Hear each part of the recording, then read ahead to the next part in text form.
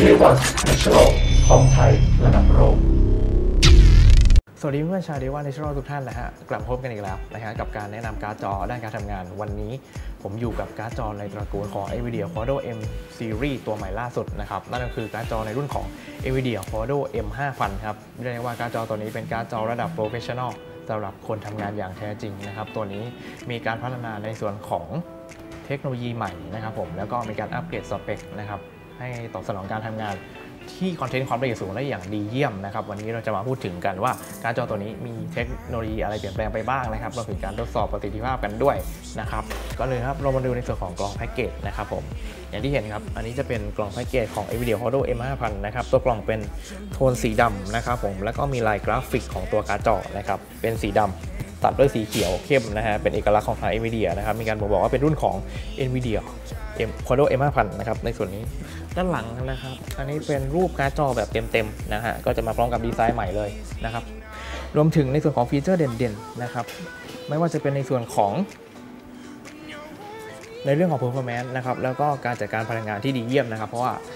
c o d o M 5 0 0เนี่ยเปลี่ยนไปใช้เทคโนโลยีใหม่ที่ชื่อว่า Maxwell นั่นเองนะครับผมรวมไปถึงในส่วนของสเปคครับ อันนี้ก็จะมาพร้อมกับ ตัวแรมนะครับหรือว่า memory ของตัวการ์ดจอที่ความจุ8 GB นะครับเพื่อรองรับ content ความละเอียดสูงโดยเฉพาะนะครับในส่วนนี้รวมถึงเป็น RAM นะครับหรือ Memory แบบ ECC ด้วยนะครับที่จะเข้ามาช่วยเพิ่มความเสถียรนะครับในการใช้งานในระยะยาวแบบ20ปีทับ7ได้อีกด้วย รวมไปถึงในส่วนของเนี่ยฮะรองรับการ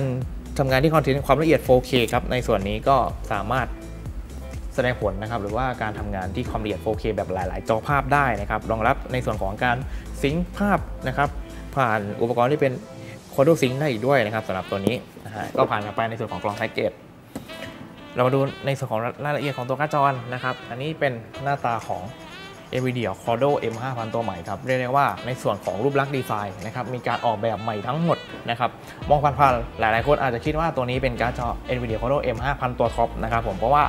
ตัวรูปลักษณ์ดีไซน์เนี่ยรวมถึงดีไซน์เนี่ยมีการอ้างอิงการออกแบบมาจาก Quadro M6000 นั่นเองนะฮะด้านหน้าครับ จะใช้วัสดุที่แตกต่างกันออกไปนะครับ ตัวนี้จะเป็นพลาสติกนะครับผมก็มาใน 2 รูปแบบนะครับ ตัวเฟรมเนี่ยทั้งหมดเนี่ยเป็นแบบสีสีดำด้านนะครับ ในขณะที่ตัวเฟรมด้านในเนี่ยเป็นแบบ glossy แบบมันวาวสีดำนะครับ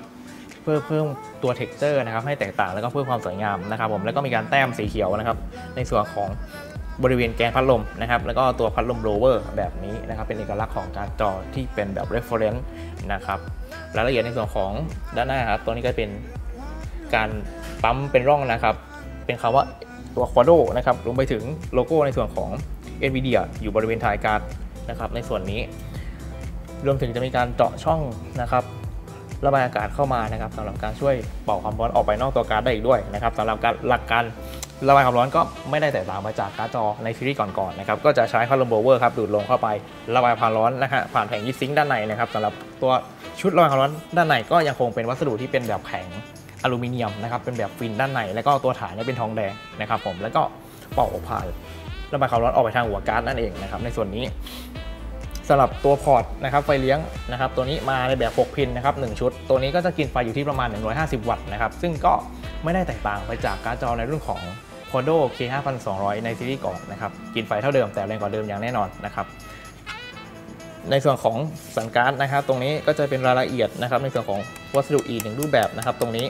สำหรับการช่วยเพิ่มความแข็งแรงให้กับตัว PCB นะครับ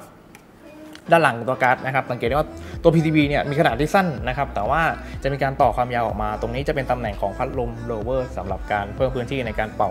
ระบายความร้อนนั่นเองนะครับผมจะเห็นในส่วนของรายละเอียดที่เป็นเม็ดแรมนะครับหรือว่าตัว memory เนี่ยมีการติดตั้งอยู่บริเวณด้านหลังเช่นกันครับอย่างที่บอกไปใช้แรมแบบ ECC ตัวนี้มีการตรวจสอบข้อผิดพลาดนะครับในการส่งผ่านข้อมูลในทุกขั้นตอนนะครับแน่นอนว่าตัวนี้เสถียรนะฮะในการใช้งาน ตัวนี้ครับมีพอร์ตนะครับในส่วนของ SLI 2 ชุดนะครับพอร์ตตรงนี้นะครับสามารถแปลงไปติดตั้งพอร์ตที่เป็น Quadro Sync ได้นะครับสำหรับการ synchronize ในส่วนของสัญญาณภาพและเสียงนะครับสำหรับการเชื่อมต่ออุปกรณ์เพิ่มเติม นอกจากนี้นะครับในส่วนนี้ก็จะมีการติดตั้งพอร์ตที่เป็น 3D Stereo ตรงนี้นะฮะโดยภายในกล่องครับจะมีการแถมอุปกรณ์ที่เป็นตัว bracket นะฮะแบบนี้นะครับสำหรับการติดตั้งหลังเคสได้เลยนะครับผมตัวพอร์ตนี้ก็เสียบบนตัวการ์ดจอนะครับตัว ตัวนี้ก็จะเป็นพอร์ตแบบ 3 pin สำหรับการเชื่อมต่ออุปกรณ์รูปแบบ 3D เพิ่มเติมก็สามารถเสียบใช้งานได้ทันทีนะครับมาในกล่องนะฮะมาต่อกันในส่วนของพอร์ตแสดงผลนะฮะสังเกตได้ว่าตัวพอร์ตแสดงผลเนี่ยจะมาในรูปแบบเดียวกับตัว M6000 นะครับพอร์ตที่เป็น DVI นะครับ1ชุด ตัวนี้จะรองรับความละเอียดที่ 2K ในขณะที่พอร์ตสี่พอร์ตด้านบนนะครับเป็นแบบ Display Port ทั้งหมดตัวนี้ก็จะรองรับความละเอียด 4K ทุกพอร์ตเลยนะฮะก็รองรับการแสดงผล 5 ช่องทางนะครับรวมถึงการแสดงผลระดับ 4K อีกด้วยนะครับ ในส่วนของสเปคครับมีการเปลี่ยนแปลงไปจากตัว K5200 นะครับตัวนี้ก็เปลี่ยนถ่ายไปสู่เทคโนโลยีใหม่นะครับในสถาปัตยกรรมที่ชื่อว่า Maxwell นะครับที่มีประสิทธิภาพต่อ core ที่สูงกว่าเคปเลอร์ในซีรีส์เก่านะครับผมตัวนี้ก็จะมาพร้อมกับ core ประมวลผลนะจำนวน 2,048 CUDA นะฮะซึ่งหากเปรียบเทียบกับตัว K5200 เนี่ยจะมาพร้อมกับ CUDA จำนวน 2,304 CUDA นะครับซึ่งตัว M5000 เนี่ย มี CUDA ที่น้อยกว่านะครับแต่ต้องไม่ลืมว่าตัวนี้ครับมีการใช้เทคโนโลยีใหม่นะครับที่ประสิทธิภาพต่อ core สูงกว่านะครับในเรื่องของความแรงเนี่ยการันตีได้เลยว่าตัว Quadro M5000 เนี่ยแรงกว่า K5200 อย่างแน่นอนนะครับรวมไปถึงการเลือกใช้ Memory นะครับแบบ GDDR5 ตัวนี้ก็ติดตั้งมาที่ความจุ8 GB อย่างที่ได้บอกไปแล้วนะฮะก็เหมาะสำหรับคอนเทนต์ความละเอียดสูงอย่างแท้จริง ในส่วนนี้รวมถึงมีความประหยัดไฟยิ่งกว่าเดิมด้วยนะครับอย่างนี้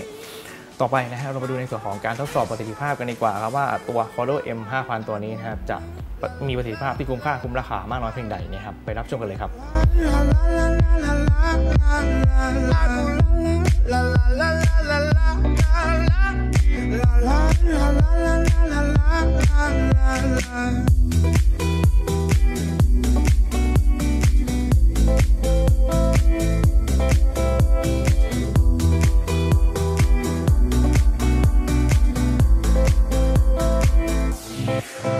ก็ไ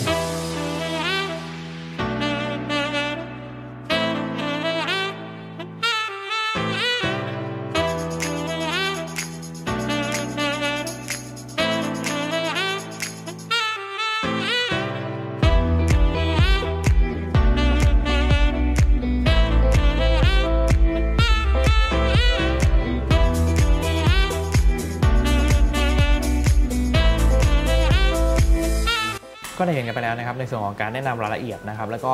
การทดสอบประสิทธิภาพของ NVIDIA Cordo M5000 ครับในส่วนของ performance นะฮะต้องบอกว่า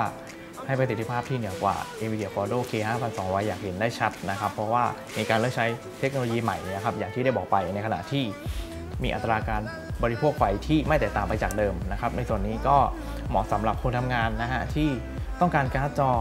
ที่มีประสิทธิภาพที่เพียงพอจริงๆนะครับและก็รองรับเทคโนโลยีใหม่นะครับผมการเลือกซื้อ NVIDIA Cordo M5000 นะครับจึงเป็นคำตอบของคุณนะฮะย้ำอีกครั้งนะครับทาง d e v a Natural นะครับมีวางจำหน่ายการ์ดจอทำงานในตระกูลของ NVIDIA Cordo M Series แล้วทุกรุ่นนะครับทั้งในส่วนของ Cordo M4000 นะครับ Cordo M5000 ตัวนี้รวมไปถึงตัวท็อปนะครับในการทำงานที่ดีที่สุดในโลกตอนนี้นั่นก็คือ NVIDIA Cordo M6000 นะครับผมก็สามารถเป็นเจ้าของได้แล้ววันนี้ที่ d e v a Natural นะครับทั้งผ่านช่องทางที่เป็น Facebook Fanpage นะครับเว็บไซต์ของเรารวมไปถึงช่องทางออนไลน์ผ่าน Lazada นะครับเรามีบริการจัดส่งถึงบ้านนะครับ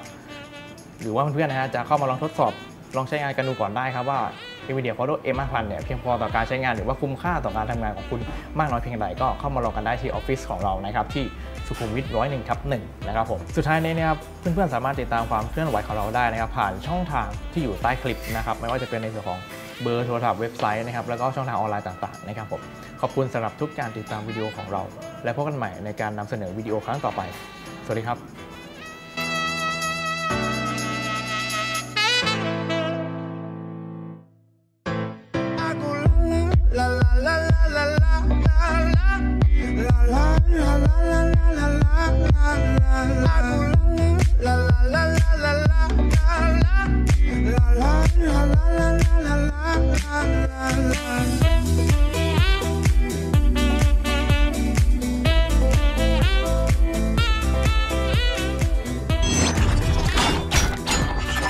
เดวัตเน